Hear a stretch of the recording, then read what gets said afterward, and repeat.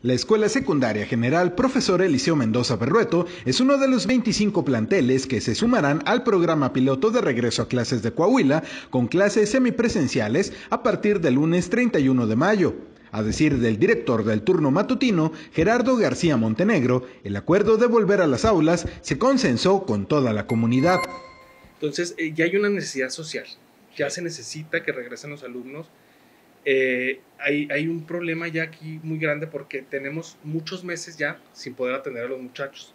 Entonces necesitamos ver cómo andan, necesitamos que platiquen entre ellos para que baje esta ansiedad, para que bajen estos este, problemas de, de socialización. La escuela secundaria se encuentra en la colonia latinoamericano, donde algunos vecinos se han quejado por la falta de agua, situación de la que no ha escapado este plantel.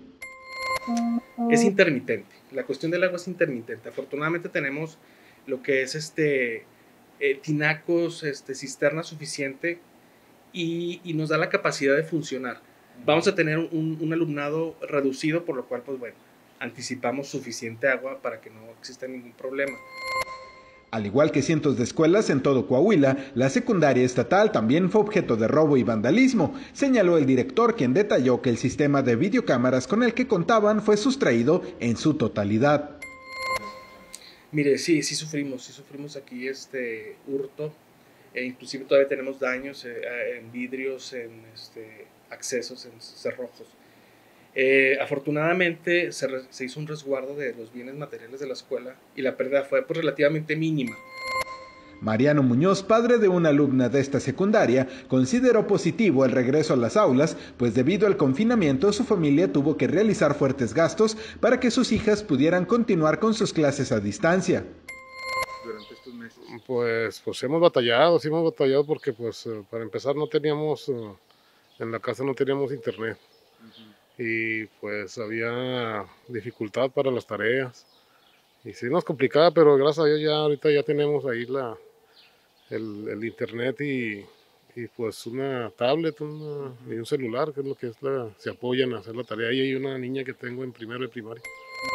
Pese a su esfuerzo, Mariano comentó que las calificaciones de su hija bajaron tanto por las limitaciones económicas como por la ansiedad que presentó la menor debido al confinamiento. Pues mi hija sí está un poco, pues sí, de principio estaba un poco asustada. La más grande, la chiquita tan poquito también, pero comprendía menos, pero sí, sí.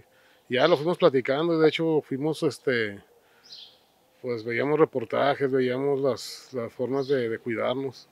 Y ya fue aprendiendo también ella y también pues de cuidarse también ella. El próximo lunes, el 80% de los casi 500 alumnos de esta escuela regresarán a las aulas en un horario de 9 a 12.30. Lo primero que atenderán los maestros será la salud mental de los jóvenes y después el rezago educativo principalmente de quienes pasarán a primero de bachillerato.